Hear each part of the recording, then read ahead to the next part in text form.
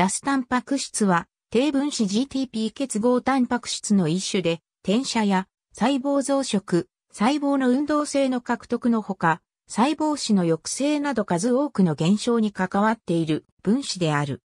ラスの異常は細胞の癌化に大きく関わるのでラス遺伝子は癌原遺伝子の一種である。ラスはラットの肉種から見つかったのでそれに基づいて名前が付けられた。ラスの一種 H ラスの構造。棒モデルで表されているのが GTP 分子である。ラスは約 21K ダの質量を持っており、GTP または GDP が結合する部位と、パイサンキナーゼやラフ、ロルジーフと相互作用するためのエフェクターループと呼ばれる部位を有している。また、C 末端側には脂質のビブを持ち細胞膜につなぎ止められるようになっている。癌化したラスは GTP と結合する部位のうち、グライ12や GLN61 にミスセンス変異があることが多い。不活性なラスは GDP と結合しているが、これがグアニンヌクレオチド交換因子により GTP と交換されると活性化する。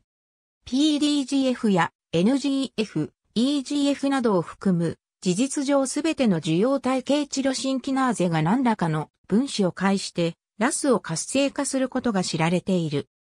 例えば EGF の場合、受容体に基質が結合し EGF 受容体の特定のチロシン残機がリン酸化されると、それを認識する SH2 というドメインを持つ GRB2 というアダプタータンパク質が引き寄せられ、活性化した EGF 受容体に結合する。すると、GRB2 の SH3 というドメインを介して SOS が結合し、活性化する。SOS はラス GF としてラスの GDP を GTP に交換し、ラスを活性化する。ただし、EGF 受容体と GRB2 との間に SHC が挟まることもある。このようにして活性化されたラスは、ジートペース活性化タンパク質と結合すると、GTP を加水分解して GDP に変えることで、不活性型となる。ラスは様々なシグナル伝達に関わっているが、ラスが活性化する主なものとして、ラフとパイ 3K とロルジーフの3つが知られている。マップキナーゼ経路が図の中央右よりに書かれている。ラフを活性化する経路は、ラスの下流として最初に見つかったものである。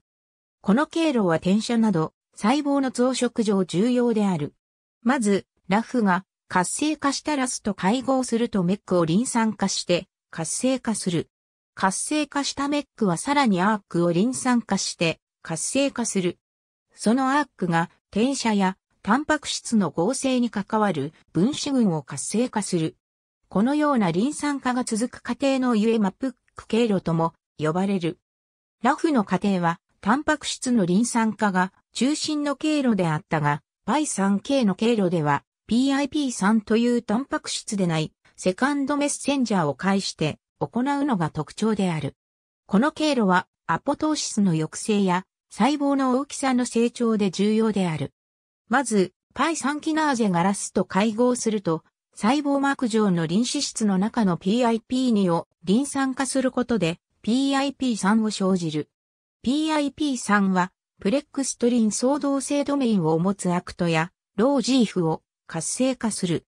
Akt はアポトーシスを促進する Bad や増殖を抑える GSK-3 ベータ、細胞の成長を抑える TSC2 などを阻害することで細胞の増殖、成長を助ける。 Rho は Ras スーパーファミリーに属する分子で、 Ras と同様 GTP によって活性化された後、細胞骨格の立体配置の変換や、細胞の周囲環境との物理的接着に関与する。ラスは、ロージーフに働きかけ、ローの GDP を GTP に交換し細胞の運動性を変化させる。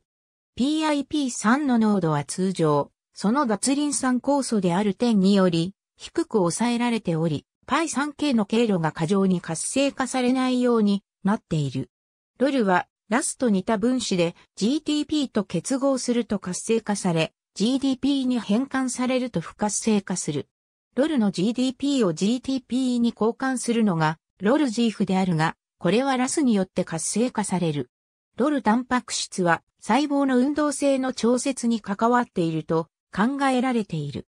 正常なラスは受容体系チロシンキナーゼにより必要に応じて活性化されるが、上流からのシグナルがなくてもラスが常に活性化されるようなことがあると眼化を引き起こし得る。ラスのアミノ酸配列のうち GTP が結合する、くぼみにあるぐらい13と GLN61 に別のアミノ酸と入れ替わるミスセンス変異があると、そのような変異型ラスは GTP と結合できるものの GTP を加水分解できなくなり、常に活性化することになる。これに加えて、下流の分子に変異が起こると癌化するリスクがさらに高くなる。ラスはいくつかの点で G タンパク質と似ている。不活性な状態では GDP 分子と結合している。シグナル経路の上流から刺激性のシグナルを受け取ると GDP を放棄して GTP 分子を獲得し活性化する。活性化して短時間の後、自ら持つ G トペース活性を用いて GTP を分解し不活性型に戻る。ただし G タンパク質はアルファ、ベータ、ガンマの3つのサブユニットからなる分子量の比較的大きなタンパク質であり、G タンパク質強薬受容体によって活性化される。一方で、ラスはサブユニットを持たない単一の分子量の大きくないタンパク質で、受容体系チロシンキナーゼにより活性化される点で異なっている。ありがとうございます。